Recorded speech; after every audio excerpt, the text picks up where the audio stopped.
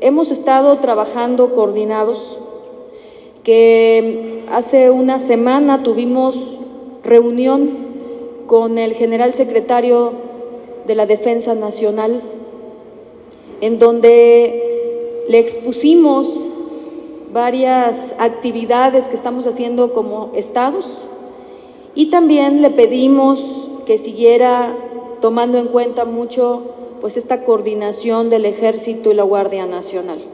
Nosotros desde Aguascalientes haremos lo que nos corresponde.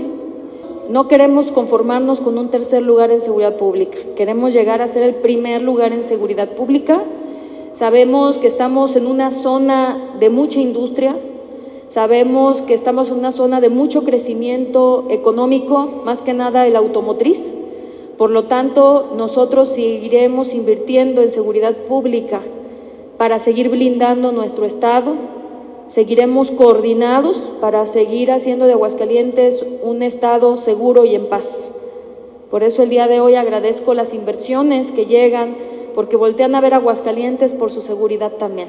Entonces vamos a seguir aportándole, coordinándonos y sobre todo dando resultados.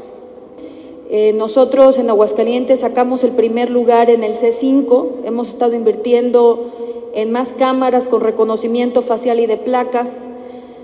En febrero entregamos 250 patrullas de la Policía Estatal más. Este año tenemos pronosticado tener 300 policías estatales nuevos. También sacamos el primer lugar en el 911 para emergencias y de ciberseguridad. Sacamos el primer lugar.